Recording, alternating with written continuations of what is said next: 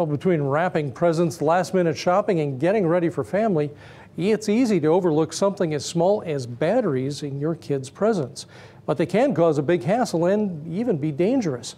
News 9's Viana King joins us with what firefighters say you need to watch out for this Christmas.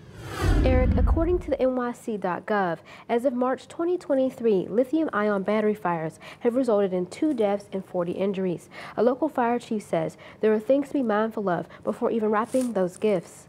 Uh, when it comes to lithium-ion batteries, just almost like any anything that's out there, the first thing you want to do is read your manufacturer's instructions. Lithium-ion batteries can be found in everyday devices and toys, everything from vapes to laptops to e-bikes and toothbrushes. And although they can be used and recharged without much issue, they can still be a safety and health hazard, especially if they're damaged. Using the product the way it's, it's intended to be used, and that goes for disposal also.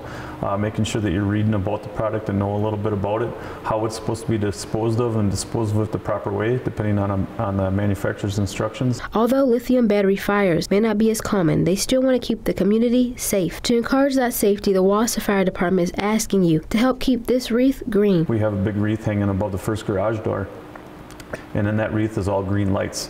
Um, what we do is we hang that up at Thanksgiving and we keep it up through the holidays all the way through New Year's.